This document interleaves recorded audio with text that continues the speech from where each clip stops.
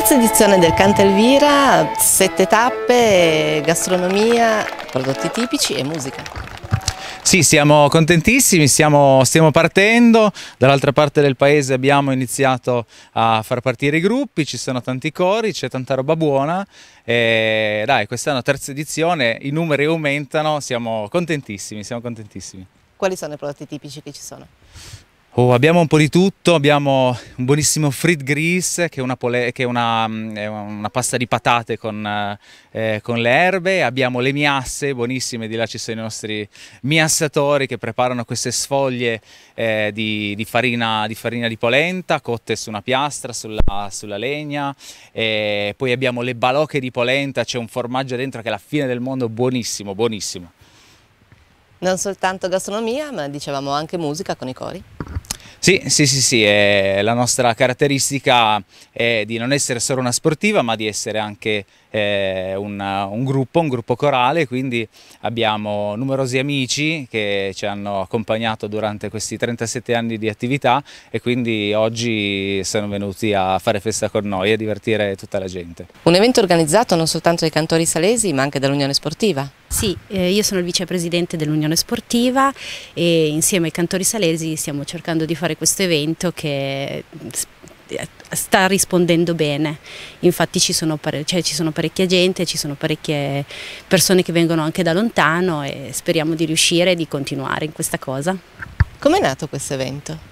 Ma è nato un pochettino, eh, è un richiamo a quello che c'è in questa valle, che in realtà tutto arriva da Costantino Nigra. Costantino Nigra che ha, ehm, che ha vissuto qua a Villa Castelnuovo e che praticamente ha, eh, ha fatto tutta una serie di eh, studi e ricerche e sono nate tantissime canzoni, poi canzoni popolari in seguito a questa alle sue ricerche. E allora ehm, la, una delle, delle, canzoni che richiama di più questo paese è proprio l'Elvira e l'Elvira è una donna che ha vissuto in realtà a Castelnuovo Nigra ma chi ha scritto questa canzone è vissuto a Cintano che era, un, era colui che ha amato questa donna e comunque non corrisposto, però ha amato questa donna e allora ha scritto per lei questa canzone d'amore anche un po' sofferente e da lì allora abbiamo deciso di dare una lode a questa meravigliosa canzone. Sì, appunto canta Elvira, che è scritto Elvira, quindi canta e gira sarebbe in qualche, in qualche dialetto e, ehm, e, anche appunto Elvira il nome di questa ragazza eh, che ha fatto innamorare eh, Giacolin del Brick. Oggi avremo anche il coro baiolese eh, Amerigo ed è lui che ha ricercato questo canto e l'ha reso famoso non solo in canavese ma è un canto amato eh, ovunque è stato, è stato portato, è stato cantato. Qui abbiamo anche una giovane rappresentante del, del piccolo coro dei cantori della Valle Sacra, tra poco ci riuniremo e canteremo delle belle canzoni di canto popolare. Questo progetto è partito sempre in collaborazione con la Sportiva di Cintano, abbiamo iniziato con qualche canto di Natale e poi abbiamo proseguito e insomma loro rispondono bene e ci fa piacere che dopo la ricerca del canto, la riproposta, adesso abbiamo anche un po' quasi la certezza di, di un futuro, di riprendere a cantare in valle.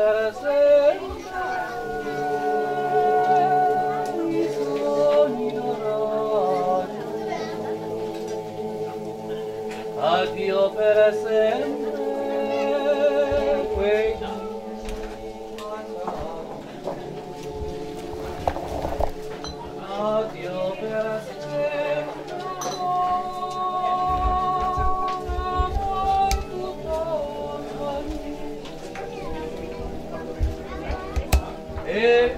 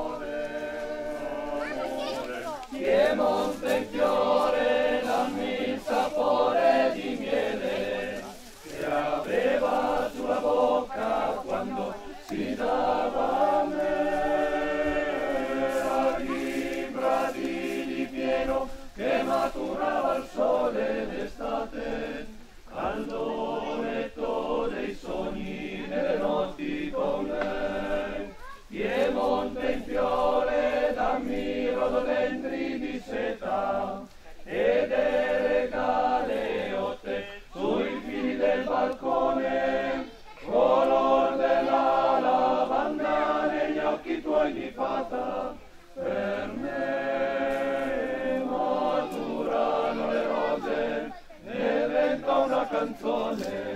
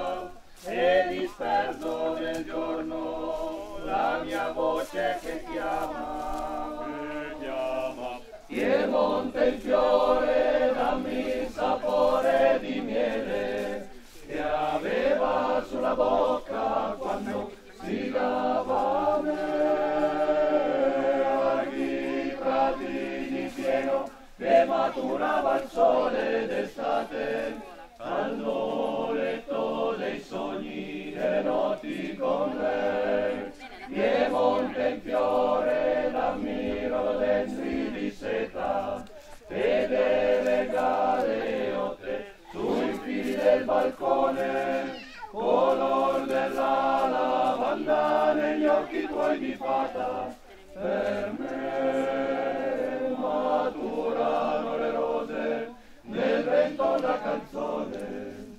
maturano le rose, nel vento una canzone, una canzone, una canzone.